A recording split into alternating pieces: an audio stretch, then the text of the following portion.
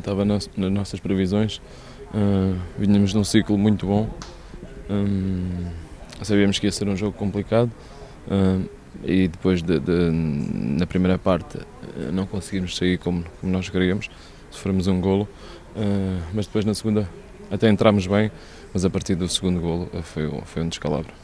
A luta pelo quinto lugar, a tua parte já terminou? Com nove pontos de distância? Tanto ah, ainda faltam muitos pontos, mas, mas tornou-se muito mais complicado.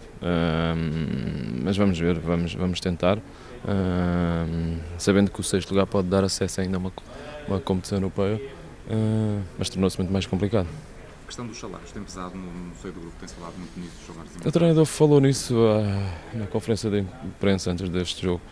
É claro que, que são situações complicadas e não estava. Tenho sete anos deste clube e não, não, não estava habituado, nunca passei por, por esta situação no clube, nem eu e penso que nem, nem a maior parte dos meus colegas.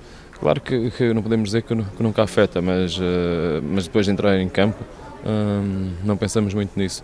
Uh, mas tem, não tem-se falado noutra coisa, tem-se falado constantemente da mesma coisa durante as semanas que, que antecedem os jogos e é normal que, que, que, que afeta um pouco, mas não, não é por aí, não, não serve desculpa.